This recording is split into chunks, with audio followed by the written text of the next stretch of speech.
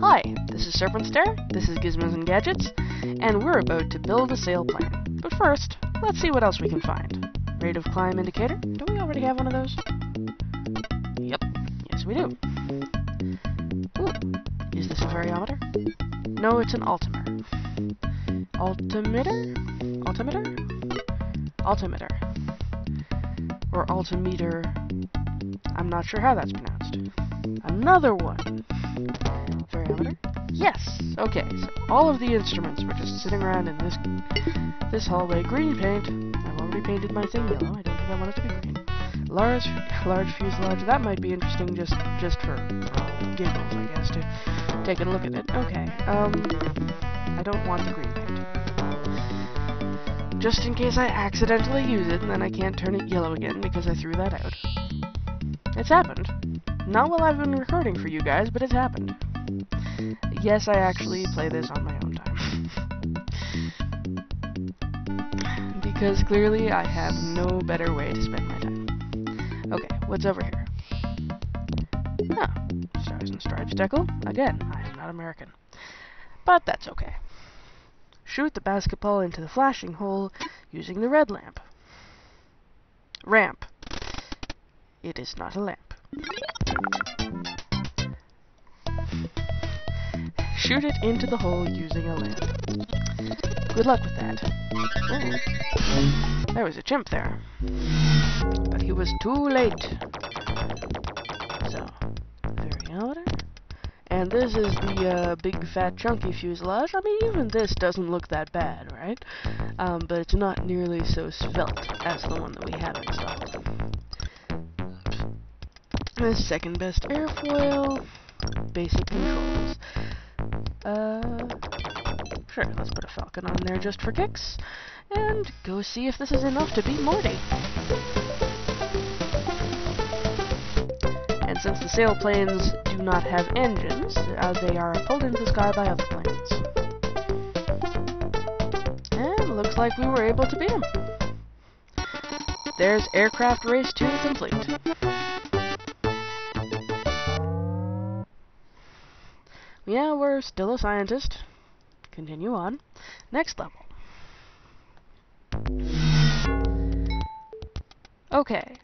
Propeller-driven airplane. Now we've actually got an engine to deal with. And a tail and a cockpit and a propeller, a landing gear, wing. Uh, we actually don't have to deal with the airfoil anymore. Imagine that. Landing gear. Retractable landing gear is what we want. Propeller. The propeller uses engine power and blades to push the air and create thrust. The more thrust there is, the faster your airplane can go. A propeller with three blades make, makes more thrust than a propeller with two blades. A propeller that can control the angle of the blades and has a spinner to reduce drag will make the most thrust. So, three blades, a uh, control of the angle, and a spinner to reduce drag. The cockpit. The cockpit is where the pilot sits. The less drag the cockpit makes, the faster your airplane can fly. An enclosed cockpit creates less drag than an open cockpit. The sharper the angle the cockpit makes to the tail, the more drag there is, so we want a gradual angle if possible.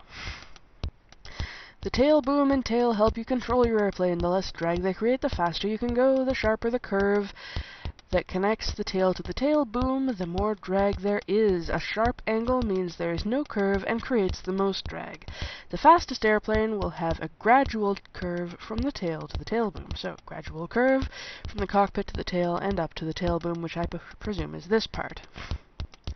Flaps. The flaps are at the back of the wing. These would be the controls from the last one. They rotate down to increase lift for takeoff and landing. Fowler flaps create the least amount of drags and help your plane grow fa Goodness, I'm just spoonerizing everything. Fowler flaps create the least amount of drag and help your plane go faster. Flaps that make a slot create less drag than flaps that split from the bottom of the wing. Flaps that only rotate create the most drag. So we want Fowler flaps in any case. The wing! The shape of the wing will affect how much drag there is. Da -da -da Straight constant wing creates the most drag. A wing that is fully tapered creates less drag than a partially tapered wing. The wing with the least amount of drag is an elliptical wing, which will uh, make an arc, basically.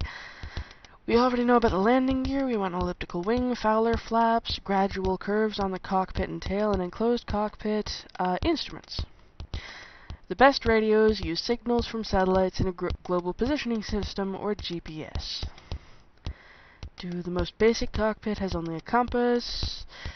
Radios are good, so yeah, we want the GPS, which is the best radio.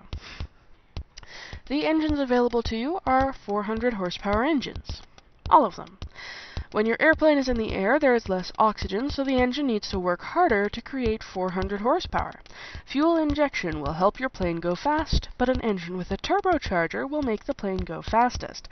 The shape of the engine also affects the speed of your airplane. Flat engines will make your plane go faster than round engines will. So, if possible, we want a flat engine with a turbocharger. Let's, uh, hit the warehouse, see what we can find. We're back here again. I can immediately put some chimps to sleep. Get some parts that way. Oh good, I managed to get you before you went into your weird invincibility frames for hitting the wall. Come on, come on, let me pick up that box. Flap split from the bottom of the. Not exactly ideal. A round engine. That's probably the worst engine we could install. Okay, so 16, 46, 49, 49, um, that should be 49.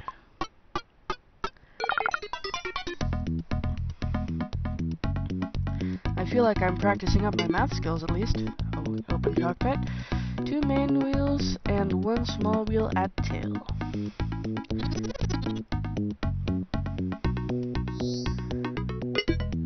Tail section with a sharp curve.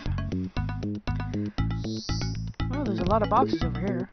Flat engine with a turbocharger. Yay, we have our first perfect part. Oh, another engine. Flat engine with fuel injection. Couple good ones. Uh, three main wheels. Not particularly impressive. More boxes. A partially tapered wing.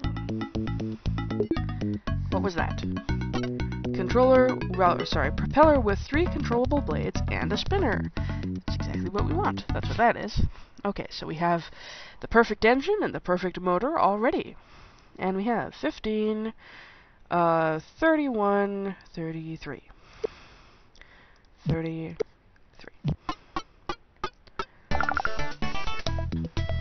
Did I, like, skip all the other balance puzzles and it's just giving them all to me now or something? Flat engine with a turbocharger, that's the one we want. It looks kind of like a an organ inside a rib cage to me. Fuel injection, already got our engine. We don't want that cockpit. Uh, we don't really want any of these wheels. I'm just throwing everything out. That's a sharp curve? Huh? Oh. Partially tapered wings. This is what they look like, folks. I guess they kind of get narrower near the near the front. Okay, so there's the propeller attached to the engine. We've got the uh, the, the the the thrust part. We've got the thrust part down.